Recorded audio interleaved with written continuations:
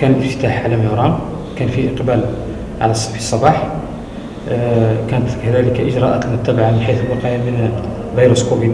كل الإجراءات متخذة على مستوى المكاتب على مستوى المركز على مستوى حتى على مستوى رؤساء المكاتب والكتاب من حيث الإجراءات الصارمة المتخذة من حيث- الوقاية والوقاية من الفيروس بالتالي الأمور على ميورام كان هناك إقبال كذلك والحمد لله.